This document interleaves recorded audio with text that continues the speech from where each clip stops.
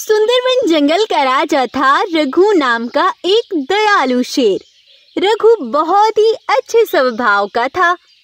रघु के जंगल में बहुत सारे जानवर थे। वो अपने जंगल के जानवरों का बहुत ख्याल रखता था। लेकिन अब रघु बहुत बूढ़ा हो चला था। इसीलिए वो बस हर समय अपने गुफा पर ही रहता था। इसी जंगल में एक बागिन अपने बच्चे सफ़ेद बाघ के साथ रहती थी। बागिन का बेटा बहुत छोटा था, लेकिन होशियार बहुत था। बागिन अपने बेटे को बहुत प्यार करती थी। बागिन के बेटे का नाम भोलू बाघ था। एक बार एक भालू जंगल में टहल रहा था। तभी उसके पैर में एक कांटा चुभ जाता है। वो दर्द के मारे परेशान हो रहा था। अरे, ये क्या हो गया? कोई है कोई मेरे पेट से कांटा निकाल दो। कोई है मुझे बहुत दर्द हो रहा है। तभी वहाँ से भोलू गुजर रहा था। वो भालू को कांटा चुभा देखता है तो उसके पास जाता है। तुम परेशान ना हो भोलू दोस्त। मैं तुम्हारे पेट से कांटा निकाल दूँगा। मैं करूँगा तुम्हारी मदद। फिर भोलू उसके पेट से कांटा निकाल देता है। भालू से बहुत धन्यवाद करता है। और वो दोनों वहाँ से अपने अपने रास्ते चल देते हैं। इस तरह बागिन का बेटा सबकी मदद करता। बहुत दिन ऐसे ही बीत गए। एक बार जंगल में एक खूंखार खूनी चीता घुस आता है। वो बड़ा जालिम था। इस जंगल में आकर चीता बड़ा खुश होता है और खुश होते हुए कहता है, अरे वाह! यह जंगल तो बहुत बढ़िया है। यहाँ तो बहुत सारा भोजन मिलने वाला है। इस तरह खुश होकर वो जानवरों का शिकार करना शुरू कर देता है। चीता को ऐसा करते देख जानवर अपनी जान बचा बचा कर भागने लगते हैं। लेकिन चीता बहुत से जानवरों को मार डालता है। तभी वहाँ जंगल का राजा रघु शेरा पहुँचता है। वो उस चीता से कहता है तुम्हारी इतनी मजाल। तुमने मेरे जंगल के जानवरों को नुकसान पहुँचाया। मैं तुम्हें छोड़ूँगा नहीं। ओए बूढ़े शेर तुम मेरा कुछ नहीं बिगाड़ सकता। अब तो तू भी मेरा शिकार बनेगा। इस तरह वो चीता रघु शेर पर वार करता है। दोनों में लड़ाई होने लगती है और चीता रघु को बिल्कुल घायल कर देता है और कहता है मैं तुझे इतनी जल्दी नहीं मारूँगा तुझे तड़पा तड़पा कर मारूँगा। और मैं इस जंगल पर अपना हुक्म चलाऊँगा। इस तरह वो खूनी जालिम चीता रघु शेर को जख्मी कर एक पिंजरे में कैद कर देता है और खुद जंगल पर राज करने लगता है। जंगल के बाकी जानवर बहुत ज़्यादा डरे हुए थे। तब एक गाय आती है और कहती है अरे भाइयों अब क्या होगा? उस चीता ने तो हमारे जंगल में तबाही मचा दी। ऐसा करते ही हम तो यहाँ से किसी दूसरे जंगल चले जाते हैं। नहीं भाई नहीं। हमारे राजा हमारे लिए अपनी जान पर खेल जाते हैं। उन्होंने हमें हर मुसीबत से बचाया। हम उन्हें ऐसे छोड़कर नहीं जा सकते। हमें उस चीता से बचने का कोई उपाय सोचना होगा। हाँ साथियों मेरे पास उससे बचने का एक उपाय है। भोलू, तुम चुप रहो बेटा। तुम अभी बहुत छोटे हो। तुम बड़ों की बात में मत बोलो। अरे नहीं नहीं, बागिन, ऐसा मत कहो। भोलू को बताने दो। शायद भोलू कुछ सही बता सके। हम ऐसा करेंगे। एक कुएँ में खूब सारा मांस डाल देंगे और हम में से एक कोई भी उस चीता के सामने आएगा और उसे कुछ भी करके उस कुएँ तक लाना होगा। उसके बाद मैं आपको बताऊँगा कि क्या करना है। सारे जानवर बातें कर ही रहे थे, तभी वहाँ वो खूनी चीता पहुँच जाता है। उसे देख सारे जानवर डर के मारे अपनी अपनी जान बचाकर वहाँ से भागने लगते हैं। लेकिन भोलू की माँ बागिन पीछे रह जाती है और वो जालिम चीता बागिन पर ही जोरदार वार करता है और उसे मार कर भाग जाता है। जब भोलू पीछे मुड़कर अपनी माँ को देखता है तो वो अपनी माँ को मरा हुआ पाता है। यह देख भोलू जोरों से रोने लगता है। बाकी जानवर भी वहाँ पर आ जाते हैं और अब सब बहुत दुखी थे। तब एक गाय कहती है, रो मत बेटा भोलू, उस चीता को अब तो हम नहीं छोड़ेंगे। उसने हमारे साथियों को मार डाला। चलो भोलू, आज हम उस चीता का काम खत्म करके ही रहेंगे।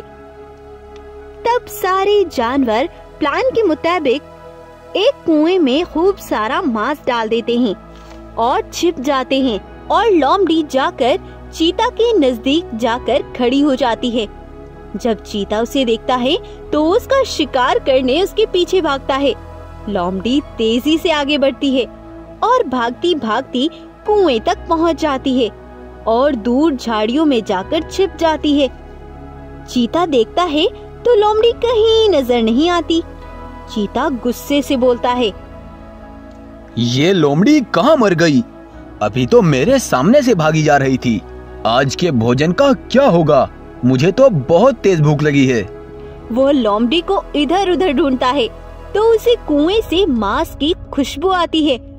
तो वो उसके पास जाकर देखता है तो उसे वहाँ बहुत सारा मांस पड़ा मिलता है।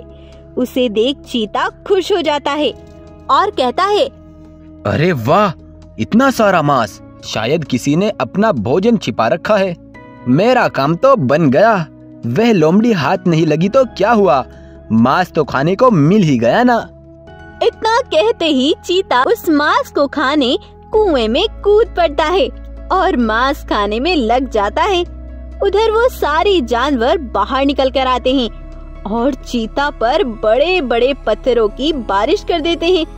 पत्थरों के दबाव से चीता वहीं दम तोड़कर मर जाता है और भोलू का प्लान कामयाब हो जाता है।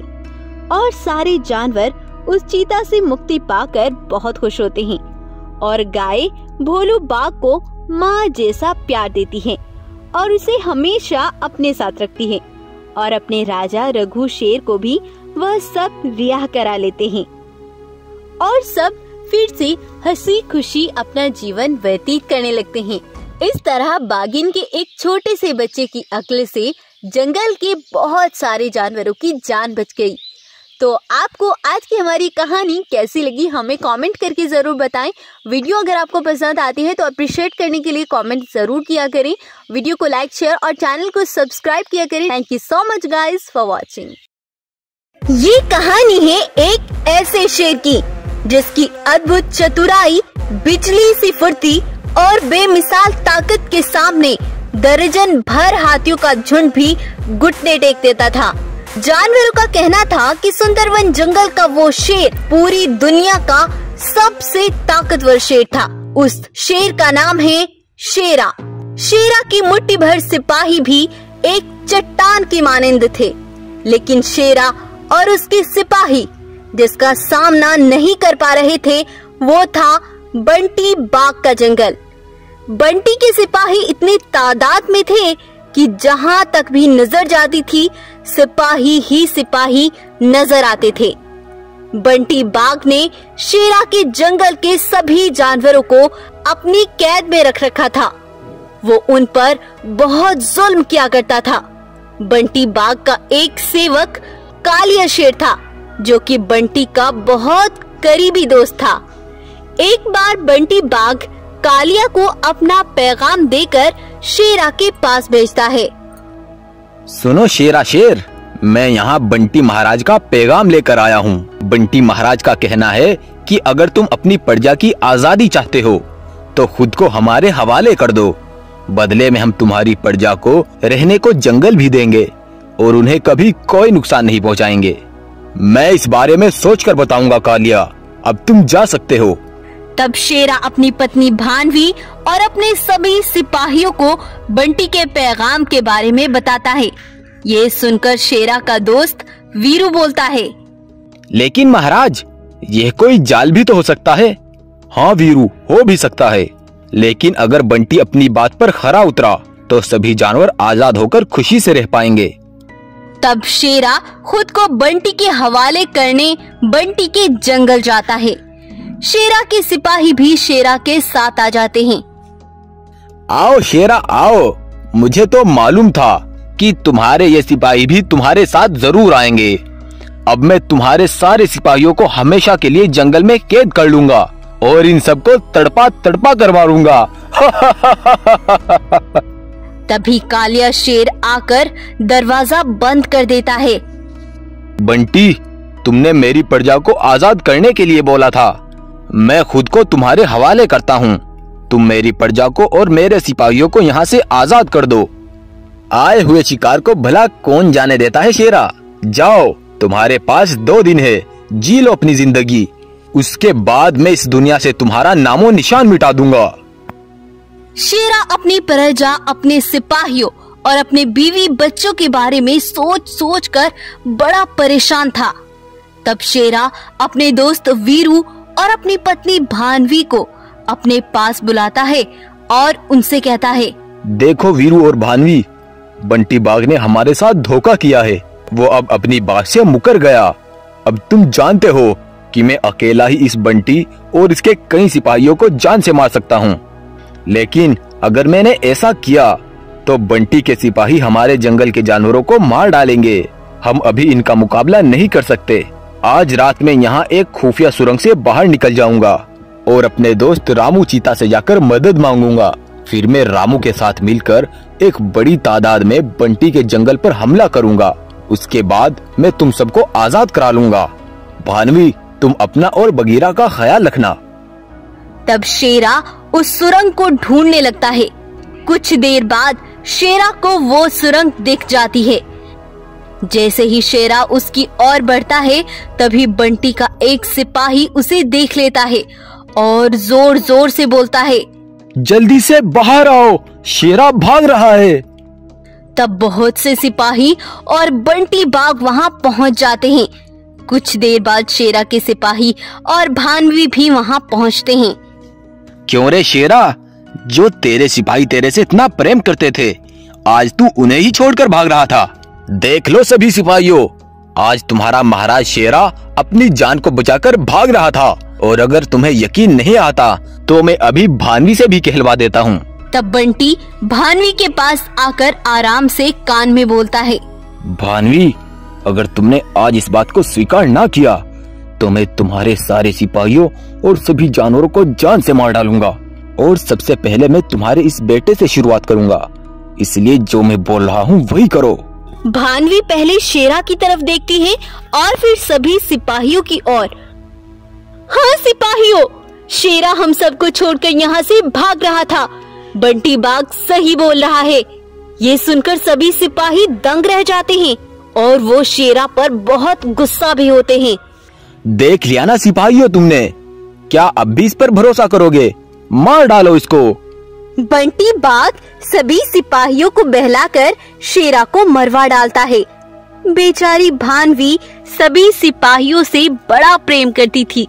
इसीलिए वो सबकी जान बचाने के लिए अपने पति शेरा को मरवा देती है। यह देख बंटी बाग बहुत खुश था। उसको मरवा कर बंटी शेरा को उसी सुरंग से बाहर फेंक देता है। अब कुछ साल बीत चलते हैं। भानवी का बेटा बगीरा भी अब जवान हो चला था। शेरा के सभी सिपाही बगीरा को भी भगोड़ा बुलाते थे। ये देखो ये भी शेरा का बेटा भगोड़ा है। जैसा बाप भागना चाहता था ये भी हमें छोड़कर ज़रूर ऐसे ही भागेगा। ये सुनकर बगीरा अपने पिता पर बहुत गुस्सा होता था। वो भी अब यही मानने लगा था कि उसके पिता गलत थे। एक बार बगीरा के पास शेरा का दोस्त वीरू आता है और कहता है, सुनो बेटा बगीरा, तुम्हारे अंदर शेरा का खून है। जो तुम्हारे पिता नहीं कर पाए थे, वो अब तुम्हें करना होगा। मतलब मेरे पिता तो जंगल छोड़कर नहीं भाग सके तो अब मैं जंगल छोड़कर भागूं। नहीं बेटा तुम्हारे पिता अपनी जान बचाने के लिए नहीं, हम सबको यहाँ से बचाने के लिए भागे थे, लेकिन वो यहाँ से निकल नहीं सके। लेकिन वो यहाँ से भागकर जाते कहा? बेटा, शायद आज भी शेरा का दोस्त रामू चीता तुम्हारे पिता का इंतज़ार कर रहा होगा, लेकिन उसे ये नहीं पता कि शेरा मर चुका है। आज रात मैं तुम्हें उस सुरंग से बाहर निकालूँगा, और तुम रामू चीता से जाकर मदद मांगना। तब रात होने पर वीरू बगीरा को सुरंग से बाहर निकाल देता है। तब बगीरा वीरू के बताए हुए रास्ते पर लगातार दो दिन तक चलता है। आखिरकार बगीरा रामू चीता तक पहुँच ही जाता है और रामू चीता को पूरी बात बताता है। शेरा की मौत की खबर सुनकर चीता बड़ा उदास हो जाता है। तब चीता बगीरा से कहता है, सुनो बेटा बगीरा, शेरा भले ही ना रहा हो लेकिन हम तो ज़िंदा है ना। मैं अपने सिपाहियों के साथ मिलकर सभी जानवरों को बंटी की गुलामी से ज़रूर आज़ाद कराऊँगा। तब रामू चीता एक बड़ी सेना साथ लेकर बंटी बाग के जंगल की ओर निकल पड़ता है। सुनो रामू चीता हमें उन बाघों को कम संख्या में करना होगा। उसके बाद हम बंटी के जंगल पर हमला करेंगे। कुछ बाघ हर रोज अपने जंगल से बाहर टहलने के लिए निकलते हैं। हमें रोज उन्हें जंगल से बाहर मारना होगा। तब बगीरा और रामू छिपकर बंटी के जंगल की बाहर से निगरानी करते हैं। शाम के समय कुछ बाघों का झुंड बाहर निकलता है। रामू के कुछ सिपाही जाकर उनको मार डालते हैं। ऐसे ही कई दिनों में रामू और बगीरा बहुत से बाघों को जान से मार डालते हैं। बेटा बगीरा अब वक्त आ गया है जंगल पर हमला करने का। आज ही हम जंगल पर हमला करेंगे। तब सभी चीता बड़ी ताकत और फुर्ती के साथ जाकर जंगल का दरवाज़ा तोड़ देते हैं और जो भी बाघ सामने आता, वो उसे जान से मार डालते। कुछ ही देर में रामू के सिपाही बंटी के सिपाहियों को मार डालते हैं। ये देख बंटी की टांगे थर थर कांपने लगती है। कुछ देर बाद दरवाजे से जो आता है, उसे देखकर जानवर सभी दंग रह जाते हैं। भानवी भी खुशी से फूली नहीं समाती। वो देखते हैं कि शेरा ज़िंदा है और उसी ताकत के साथ फिर से जंगल वापस लौट आया है। दरअसल जब शेरा को मरा हुआ समझकर सुरंग से बाहर फेंक दिया था तो भालू शेरा को घायल पड़ा देख शेरा के पास आता है और उनको उठाकर एक बग्गी में डालकर अपने साथ घर ले आता है और शेरा की मरहम पट्टी करता है। दो तीन दिन बाद शेरा को होश आता है। लेकिन शेरा इतना घायल था कि उसे ठीक होने में सालों लग गए। बगीरा अपने पिता को देखकर बहुत खुश होता है। अरे अरे तुम ज़िंदा कैसे? तुम्हें तो मैंने मरवा डाला था ना। मेरी छोड़ो बंटी अब अपनी सोचो कि मैं अब तुम्हारा क्या हाल करूँगा। तब शेरा बंटी पर एक के बाद एक वार करता है। और उसे खून से लथपथ करके जान से मार डालता है। उसके बाद से बगीरा सभी जानवरों को आज़ाद करा के अपने पिता और अपनी माँ के साथ जंगल में हँसी खुशी रहने लगता है। तो आपको आज की हमारी कहानी कैसी लगी? हमें कमेंट करके ज़रूर बताएँ और हमें अप्रिशिएट करते रहें फ्यूचर में अच्छी यूनिक और लेटेस्ट कंटेंट लाने के लिए। अगर आपको ये वीडियो अच्छी लगी है तो इसको लाइक शेयर और सब्सक्राइब करना ना भूलें।